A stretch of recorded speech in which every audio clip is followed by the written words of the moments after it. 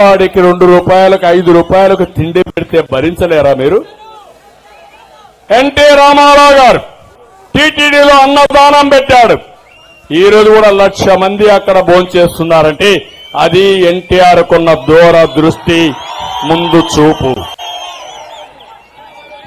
నేను వచ్చినప్పుడు ప్రాణదానం పెట్టాను. ప్రపంచమంతా డబ్బులు మొబలైజ్ చేసి రాయలసీమల వారికి ఏ కష్టాలు వచ్చినా ఆరోగ్యపర ఇబ్బందులు వస్తే నేరుగా హాస్పిటల్కి పోతే ఫ్రీగా ట్రీట్ చేసే విధంగా టీటీడీ తరఫున నేను ప్రాణదానం పెట్టాను. అందుకని అన్న క్యాంటీన్ పెడితే అన్ని టౌన్లో పెట్టి ఇబ్బంది లేకుండా పేదవాళ్ళు ఐదు రూపాయలకే భోంచేసే పరిస్థితి తీసుకొస్తే మీరు రద్దు చేస్తారా? ఇది పేదవాళ్ళ పైన ఉండే ప్రేమ అని మిమ్మల్ని అడుగుతున్నా. తమిళనాడులో అమ్మ క్యాంటీన్ ఉంది. మీరు చూస్తున్నారా లేదా? డిఎంకే పాలన వచ్చింది. అమ్మ క్యాంటీన్ ఉందా లేదా? అది రాజకీయం. ఇది చెత్త రాజకీయం. దద్దమ్మ రాజకీయం. నేను పెట్టాను కాబట్టి తీసేస్తావా నువ్వు? నేను పెట్టాను కాబట్టి ఆ రోజు రాజశేఖర్ రెడ్డి వస్తానే. హైటెక్ సిటీని కొట్టేసుంటే నేను ప్రారంభించాను కాబట్టి ఆ రోజు ఇంటర్నేషనల్ ఎయిర్పోర్ట్ను కూలగొట్టుంటే అదే మరిగా ఆ రోజు నేను ఆలోచించాను కాబట్టి అవుటర్ రింగ్ రోడ్ని ఇది రావుడు అనుకోనుంటే హైదరాబాద్ అభివృద్ధి అయ్యేదా తమ్ముళ్ళు మిమ్మల్ని అడుగుతున్నా. ఎందుకు అమరావతిని ఆపారు? ఎందుకు పరిశ్రమలు పారిపోయినాయి? ఎందుకు పోలవరం నాశనం చేశారు? ఎందుకు సాగునీటి ప్రాజెక్టులు మధ్యలో నిలిచిపోయాయో సమాధానం చెప్పమని ఈ నగిరిలో సవాలు విసురుతున్నానని చెప్పి తెలియజేస్తున్నా. సమాధానం చెప్పాలా లేదా అని మిమ్మల్ని అడుగుతున్నా. చెప్పాలంటే గట్టిగా చెప్పండి. చెప్పాలి అని గట్టిగా తప్పట్టు చెప్పండి. పాలకులు ఎప్పుడైనా సరే ప్రజలకు జవాబుదారితనంగా ఉండాలా లేదా? ఇష్టానుసారంగా చేయడానికి వీలవుతున్నాను అడుగుతున్నా.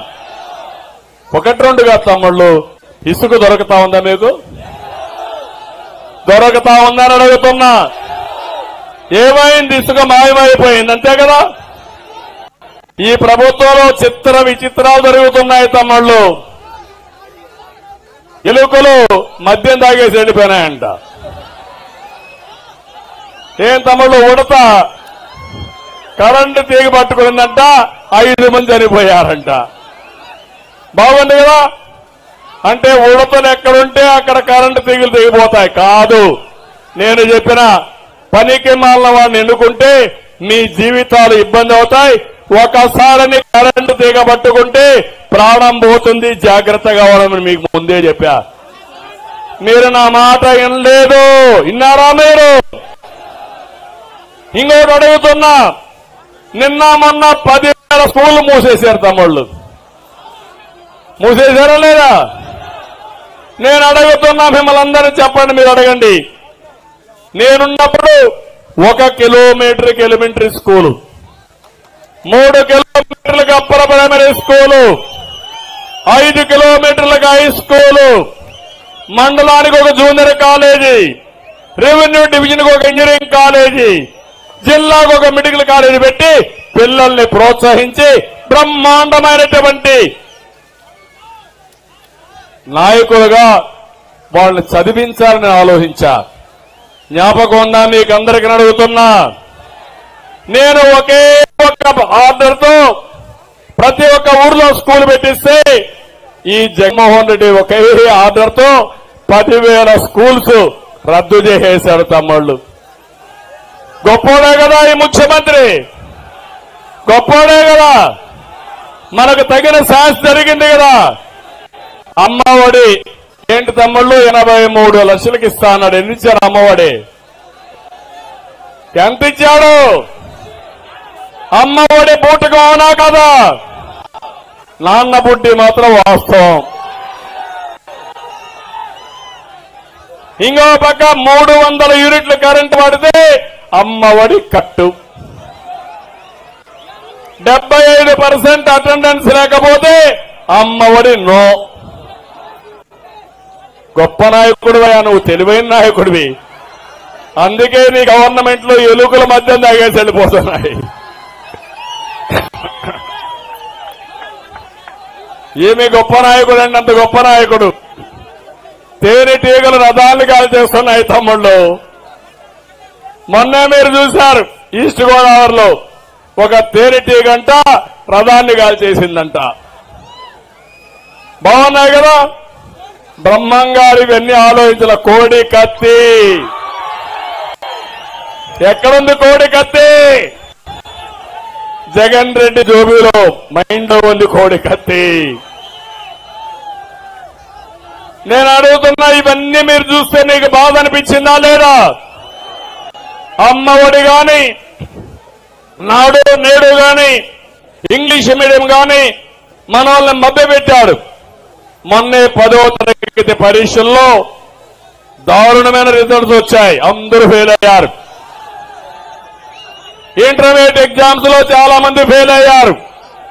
దీనితో పద్దెనిమిది మంది పిల్లలు ఆత్మహత్య చేసుకున్నారు. ఆ బాధ భరించలేక పరీక్షలో ఫెయిల్ అయిన దాన్ని భరించలేక ఆత్మహత్యలు చేసుకున్నారు.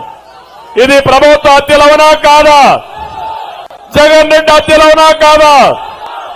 నువ్వు చెప్తున్నావు సర్వశిక్ష అభియాన్లో మొన్నే రిపోర్ట్ ఇచ్చారు గవర్నమెంట్ ఆఫ్ ఇండియా. ఆంధ్రప్రదేశ్లో రెండు లక్షల యాభై వేల మంది పిల్లలు స్కూలుకు రావడం మానేశారు. ఎవరు కారణం దీనికి? దానికి కూడా నేనే కారణం.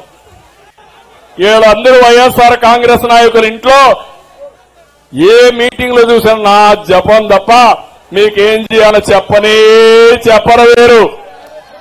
వాళ్ళ ఇంట్లో భార్య భర్త కాపురం చేయకపోయినా దానికి ఎవరు కారణం తమ్ముళ్ళు? ఎవరు కారణం? వివేకానంద రెడ్డి బాబాయిని ఎవరు చంపారు? నేనే కదా. నేనేనా? ఏమి రాశారు పేపర్లో ఆ రోజు? నారాసుర రక్త చరిత్ర. నేను హత్య చేశానా తమ్ముళ్ళు ఎప్పుడన్నా? నాకు అలవాటు ఉందా తమ్ముళ్ళు? నాటకాలు ఆడైనా అడుగుతున్నా? నాకు అలవాటు ఉందని అడుగుతున్నా? మీ కళ్ళ ముందర పెరిగాను. మీ కళ్ళ ముందర పైకి వచ్చాను. ఎప్పుడు నేను ఇలాంటి నాటకాలు చేయలేదు. నా శక్తి ఎంతున్నా శక్తి ఉపయోగించి ప్రజలకు న్యాయం చేయడానికి సేవ చేయడానికి ఉపయోగించారు తప్ప ఈ డ్రామాలు గాని హత్యా రాజకీయాలు గాని హత్యా రాజకీయాలు చేసే వాళ్ళ పట్టుకొని శిక్షించాను అవునా కాదా? ముఠా నాయకుల పైన పోరాడాను. తీవ్రవాదుల పైన పోరాడాను. కడాన నా మీదనే ఇరవై నాలుగు క్లేమోర్ మైన్స్ పెట్టినా లెక్క పెట్టుకోకుండా ముందుకు సాగాను తప్ప ఎప్పుడు రాజీ పడలా. పడ్డానా?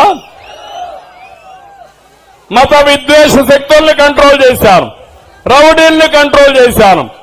ఇప్పుడు ఇంటికి ఒక ఊరికి ఒక సైకో తయారయ్యాడు తమ్ముడు. మీకు భయం వచ్చేసింది ఆ సైకోలు చూస్తే. వచ్చింది.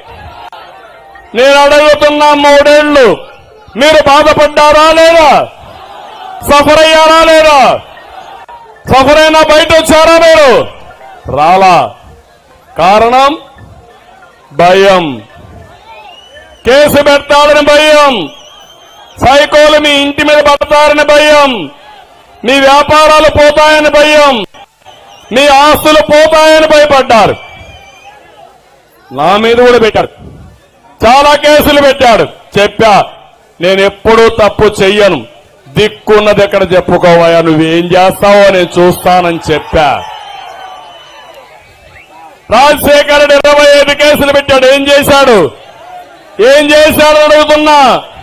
ఇప్పుడేదో పెద్ద కొత్త కేసు ఒకటి పెడతాడంట అదేంటంటే పెగాసిస్ ఏదో నేను ఉపయోగించానంట ఏంటి ఆ పెగాసిస్ తెలుసా? జగన్ రెడ్డి నీకు? ఇన్ఫర్మేషన్ టెక్నాలజీలో నాకు నువ్వు కథలు నేర్పిస్తావా? ఇంకా ఒక డేటా చోరీ జరిగిందంట. ఏంటి ఆ చోరీ అని అడుగుతున్నా నేను? సిగ్గుండాల చెప్పడానికి? ఏదైనా చెప్తే అతికేటుగా ఉండాలా? ఇష్టానుసారంగా మాట్లాడి తప్పుడు కేసులు పెడితే భయపడడానికి నేను ఈ ఆటలు సాగనీయను. నాకు ఒక వ్యక్తిత్వం ఉంది.